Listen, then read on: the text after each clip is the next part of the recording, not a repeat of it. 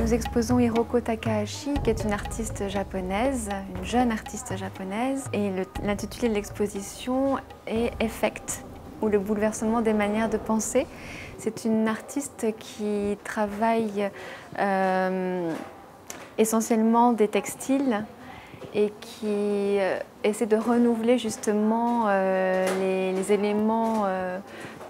principaux de, la culture japonaise, notamment le kimono, le yukata. La CFOC expose ce travail sous plusieurs axes. Il y a une exposition de photographie où Hiroko est mise en scène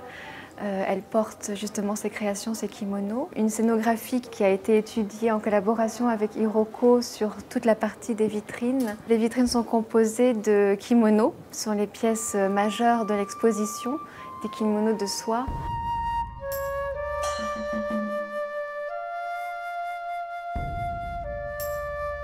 Il y a des produits dérivés, certaines pochettes, euh, de la maroquinerie, papeterie, des éventails, euh, des textiles qui servent à l'art de l'emballage comme le furoshiki et le tenogui. Un petit sac également qui est composé à partir du tenogui. On trouve même une tête euh, de Hiroko en Lego euh, qui a été réalisée pour une exposition Lego, justement, une grande thématique. Euh, et c'est elle-même qui a réalisé cette figure, donc c'est une pièce unique. 同じことをやってても新しくならないから少しでも、まあ、今の時代にしかできないこと昔では絶対できなかったようなことをこう自分の中でこう発見しながら、まあ、少しでも進化させるっていう。